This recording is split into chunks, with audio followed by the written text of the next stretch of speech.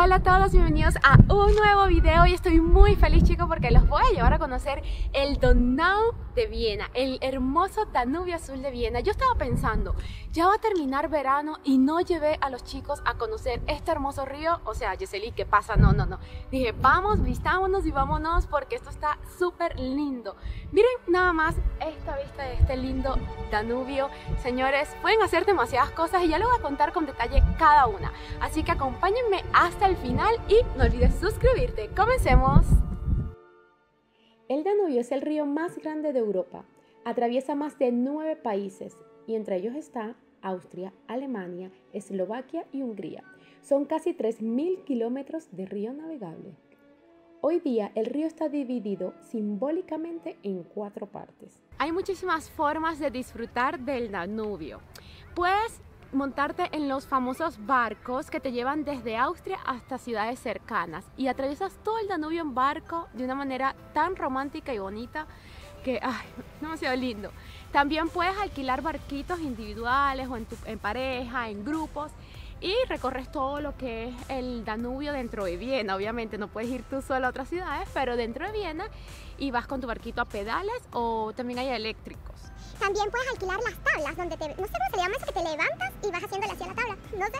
Eh, puedes también, obviamente, bañarte dentro del Danubio. Hay áreas donde te puedes bañar, otras áreas donde no, porque pasan los barcos. Eh, puedes solearte, comer alrededor del Danubio, porque está permitido. Venir con tu mascota también está permitido. A los que no les gusta meterse en el Danubio así, en donde están las piedras y el agua sucia, como allá, no sé si logran ver, allá abajo hay unos chicos. Hay un área especial donde tú puedes pagar como 3 euros, barato la verdad, para entrar en un área del Donado donde está súper limpio, no hay nada de piedras, está así todo cool y está súper bien, por lo menos para mí que no me puedo meter en cualquier agua, me va muy bien y yo creo que para todos los que quieran más comodidad está ideal.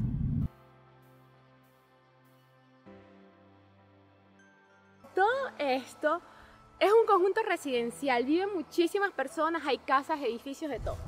Y ya van a ver, ahora aquí tienen a la patica su casa el Danubio. ¡Qué fortuna! ¡Qué bendición realmente! Miren, acá o sea, lo que hacen es salir con su cosita y para el Danubio normal, ¿verdad? ¡Qué afortunado, Dios mío!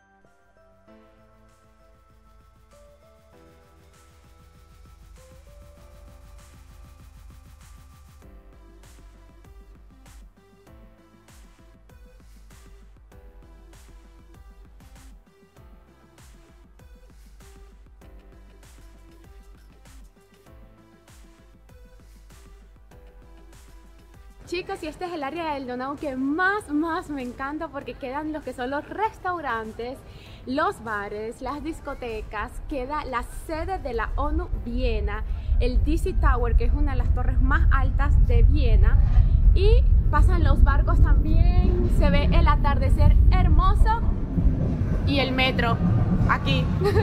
Pero es súper linda esta zona, miren esta hermosa vista.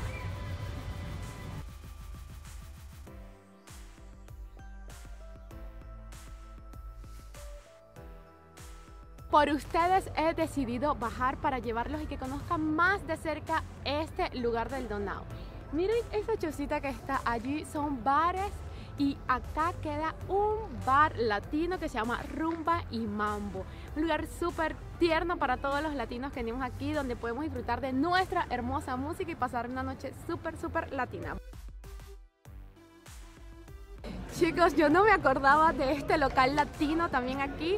Este se llama Zanzibar y mira, están dando clase de salsa, así que aquí también pueden venir a bailar un poquito cuando vengan de vacaciones.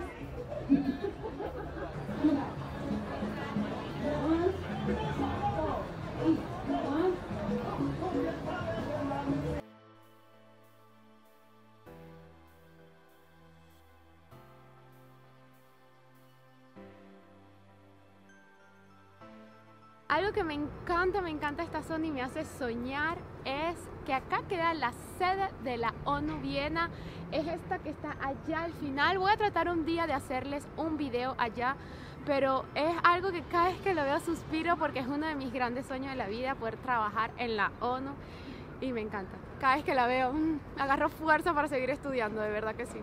Otra cosa ese edificio que ven ahí es la torre más alta de Viena. Se llama Dizzy Tower. Y arriba, arriba, arriba queda un restaurante que se ve todo Viena, señores, y es hermosísimo. También voy a tratar de subirle una foto porque una vez mi novio me llevó allá a cenar y estuvo súper lindo.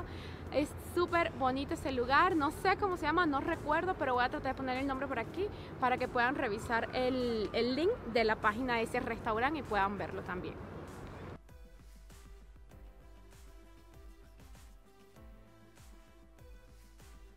Este puente para mí es muy significativo porque cuando llegué a Viena a vivir, mis amigas lo primero que hicieron fue traerme a esta zona de Viena a tomarnos algo, a contarle qué tal mi vida, de todo.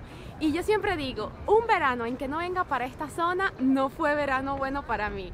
Y justamente si iba a acabar el verano esta semana y no había venido. Y miren, vine por ustedes. Esta zona viene muchísimos turistas y es muy bonito ver la integración cultural que hay acá en Viena. Aquí puedes ver gente de todas partes del mundo que vienen a comer acá a los restaurantes, a la discoteca latina, a la austriaca, al área, hay un área nudista aquí también, hay para compartir con los niños, un área que es como de playa y de todo. Y la gente cuando viene de vacaciones, lo primero que hace es venir a esta zona de Viena a conocer el hermoso Donau.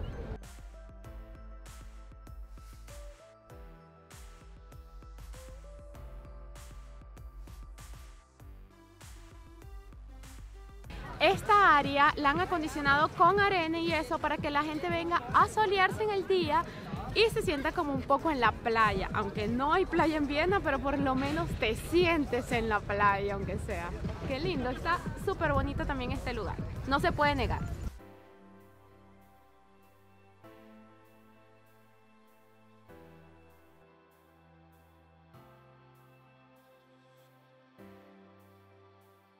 Y bueno chicos, esto ha sido todo por este video, espero que les haya gustado, como siempre se los hice con muchísimo cariño eh, nos vemos la próxima semana. No olviden suscribirse, seguirme en Instagram para que estén al día con los live. Y este sábado voy a estar yendo a Italia. Voy a ver si les grabo todo, todo lo que viva por allá para contarles cuánto cuesta Italia y compararlo con Austria y todo eso. Para que estén al día también con eso. Así que chicos, nos vemos les envío un gran abrazo y un besito. Chaito, los quiero mucho.